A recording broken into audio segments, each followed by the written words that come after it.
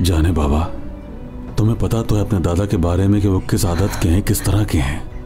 मैं हूँ ना तुम्हारे लिए। तुम्हारी माँ भी है, गुल भी है, हैं? मुझे लगता है इतने लोगों का प्यार काफ़ी होगा। चलो बस अब उठो, जल्दी से यहाँ से खाना खाते हैं। मुझे भी बहुत भूख लग रही है और वैसे भी बहुत सर्दी हो रही है यहाँ पे, तुम्हें सर्दी नहीं लग रही क्या?